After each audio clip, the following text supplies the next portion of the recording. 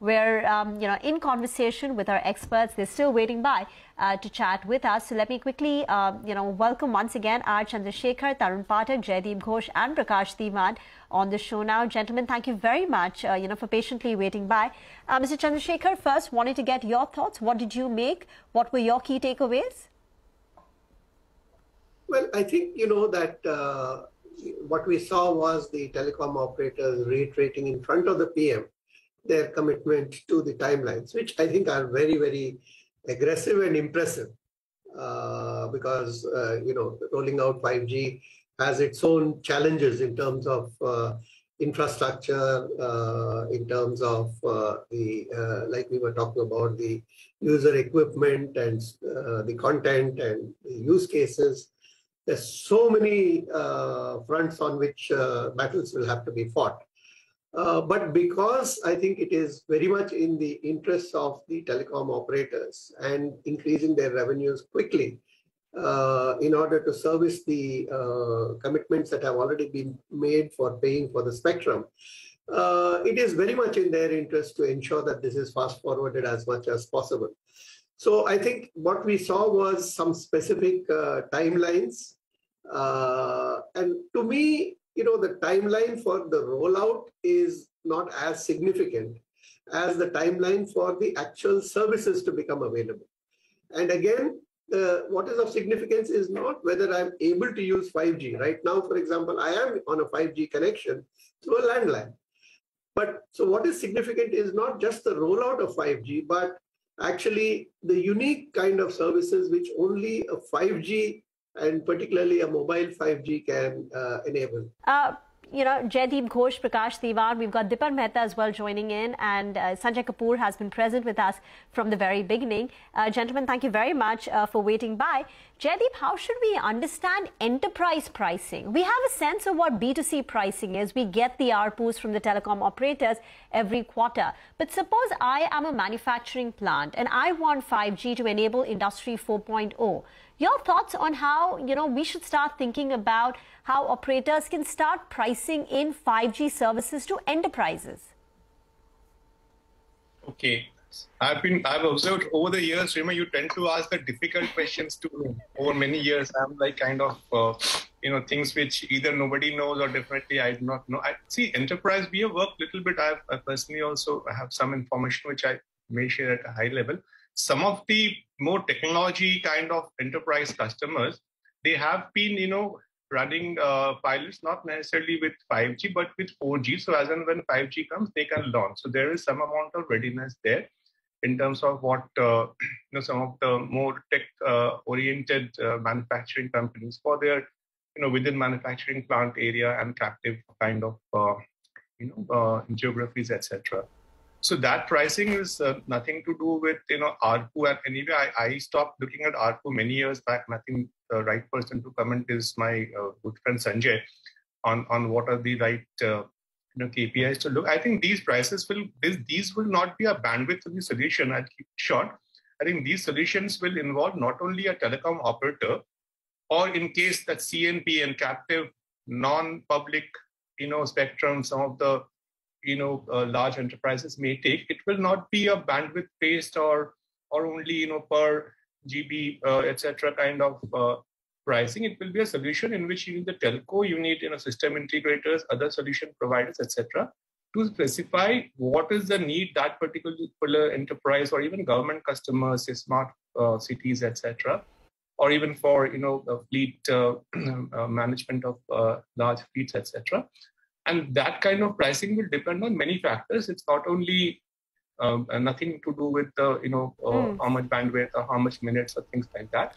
The pricing may not be as simple also in terms of you know uh, so and so dollars per month or something. It could be different innovative models. You know, you do this that much pricing. There could be a lot of sharing model. We have seen. Uh, uh, I have been in, involved for many years in the revenue sharing model and those models we should see. So okay. in short, I don't think it's going to be a very plain vanilla per month dollars rupees so and so. It, it could be a stitched solution, and the pricing will be based on the uh, solution impact on the customer over a period of time. No, absolutely. It's going to be a very complex pricing, which is why I posed this question to you, Jaideep.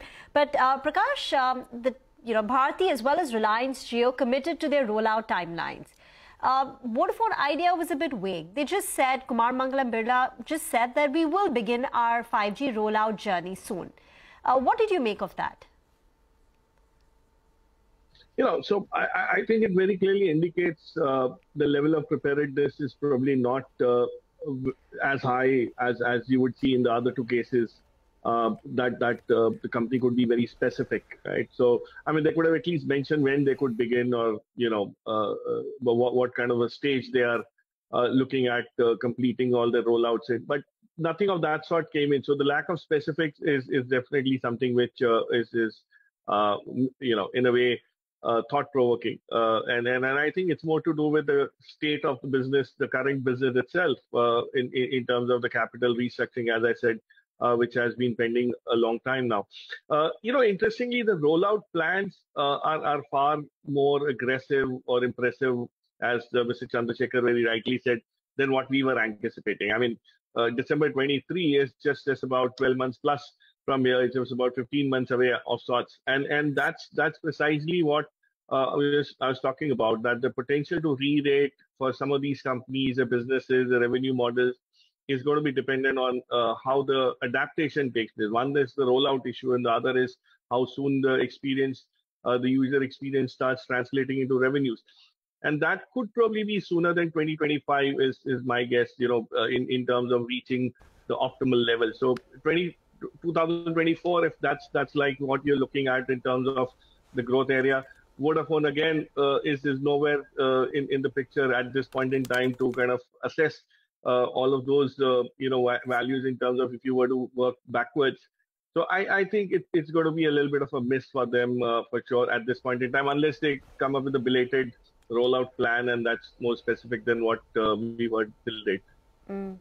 Uh, Dipan, is the lack of specifics from Vodafone Idea a bit worrying to you? And also want you to comment on the statement made by Mukesh Ambani where he said that will ensure high quality 5G but the most affordable rates. So I want you to pick on that point about affordability. If 5G is going to be very affordable, what does that mean for telecom operators, ARPUs from here on, and a price increase?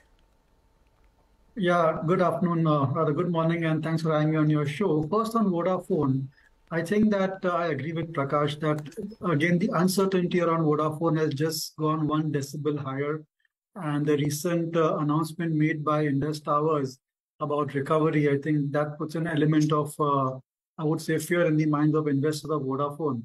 And one really needs to consider an investment uh, in that company at this point of time. They've been trying to raise resources, but have not succeeded so far. Uh, so let's hope for uh, everyone's um, benefit. The company is really able to turn around its operations. Uh, coming to your second question about uh, affordability, see, I think telecom companies have to say that it's going to be affordable, and that's how they're going to market these particular uh, schemes as well. Uh, whether actually, of course, the initial packages will be affordable, but then you know I think you would see creeping prices going up over there for those packages. End of the day, the telecom companies are there to um, make the maximum out of this opportunity. And the customers that they're going to be catering to for 5G are the ones who can pay a significantly higher tariff plan as well.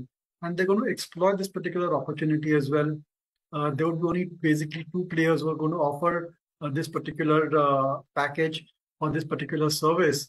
And that eventually, maybe not in the first quarter, the second quarter, but once the excitement around 5G kind of settles down and dies down, I'm pretty certain that both the telecom companies uh, will engage in trying to increase their tariff plans, which will be very positive for the for the telecom companies per se, especially the return ratios.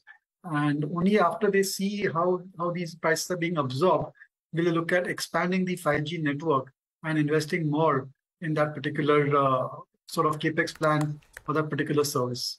Mm. Well, even if uh, the telecom operators take a massive ARPU hike, they will still be the most affordable in India. India's ARPUs would roughly be what two dollars or um, you know close to two dollars. I think in China it would be six seven dollars. In EU it would be in excess of twelve dollars. So even if they take a very very very big price hike, they would still be the most affordable. Uh, Tarun, um, you know all the operators were fairly quiet on uh, the you know context of devices, the pricing, uh, which is your area. Uh, what did you make of uh, you know the conversations, uh, the statements, the comments that we heard from the telecom operators, as well as the minister? I think they are, they are already quite positive on that. They might have already seen it um, on the network. They, uh, like I said, there are already 50 million 5G devices that are being uh, there already in the hand of the consumers. Um, so they are quite assured on the device ecosystem. I think the challenges are more on the adoption curve. Uh, so looking at the example from the China, uh, there is like almost like nine out of 10 new phones are a 5G phone in China. But if you look at from the subscriber point of view, almost 50% of those 5G users on the, on the devices are actually using a 4G data pack. So, so the point is, even in a, one of the biggest country in the world, people are still not using the 5G uh, plans in the more aggressive way than it should have been. And even looking at the telcos where the 5G networks have been lit up like two years, three years back, the average increase in the worldwide operators revenue has gone up by only 2 to 3%. So India needs to be, uh, I'll say from the operator's point of view, they will be cautiously optimistic on that to see how the India specific use case will be there and the mind share of the 5G within, within the consumers is likely to be very high. Now, the point is when you have an expectation very high of a particular services, then the experience should also be on the similar grounds. Otherwise, it will be like um, what you expect and what you get will be on a different platform altogether. And we are looking at a very, very aggressive rollout uh, right now. Um, so that needs to be uh, looked into. I think if we get that timing right, um, then the ARPU is going to be somewhere between 250, 300, and that will be that that is going to be great news for the operators. So I think um, device ecosystem to coming back to your uh, question, I think they are quite uh, assured of that. Looking at even the um, uh, component uh, ecosystem, the kind of innovation we are seeing in, even on the RFFE part, which is a critical part of the 5G devices, I think we, we are good, a very strong development and innovation is already happening on the devices side of things. Mr. Upal, first question, your top three takeaways from Prime Minister's speech. Well, a key takeaway, of course, is the Prime Minister's very strong belief in the power of technology and the power of Indians to deliver on technology goals. Uh, so that is huge. The Prime Minister clearly sees the need to improve the environment for technology as an important policy objective. And he also sees 5G as a technology which will have a much wider and pervasive impact on both individuals and more importantly the economy. So uh, and hope and of course in that sense it will also make india extremely competitive because a lot of the use cases a lot of the software a lot of and increasingly more and more hardware is being uh, being uh, designed in India and in some of it even being made in India. So that means that India can probably play a, a larger role in the 5G ecosystem. Uh, that is the, the kind of belief he has. Hmm. Uh, Dipan, 4G heralded uh, the app economy Movie streaming was not possible with 3G, but it was possible with 4G, booking Ubers, and there were so many other apps which became ubiquitous thanks to 4G. Uh, the SaaS businesses mushroomed all over the world. What will 5G do? And any particular stocks that you would watch outside of the listed telecom names, you know, in the stock market, but say something like a Nazara, which is into gaming. Any other, from a stock market point of view, what do you think 5G can do? Yeah, Nima, I think 5G will eventually be a game changer for a lot of these new age digital businesses.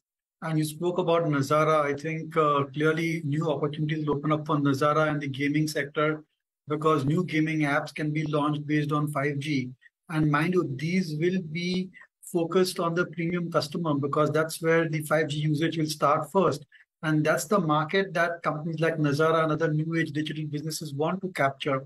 So they will devise special games and service offerings around 5G, uh, which will enable them to increase their revenue.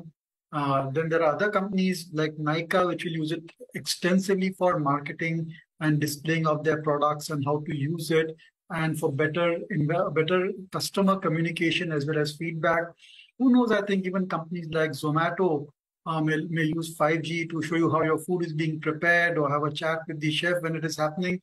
So you know, the uh, kind of uh, uses of 5G are unimaginable. As we wrap up on the special coverage of 5G as we herald, uh, you know, 5G in India, we leave you with some statements made by Akash Ambani, who was speaking at the 5G launch event. Take a look and thank you for watching. जियो ने जैसे श्री मुकेश अंबानी जी मेरे पिताजी ने बताया जियो का पूरा plan होएगा कि दिसंबर तक पूरा इंडिया कवर हो जाएगा भाग भाग इंडिया में अपन देखेंगे कि 5G के अनुसार बहुत सारे नए एप्लीकेशन आएँगे और जैसे प्राइम मिनिस्टर मोदी जी ने बोला था कि नई क्रांति चालू हो जाएगी इंडिया में। एब्सोल्युटली हम बहुत अफोर्डेबल करेंगे। हर हर एक भारत वासी को अफोर्डेबल होना चाहिए। डिवाइस के लेके सर्विस तक सब कुछ तय करेंगे। Thank you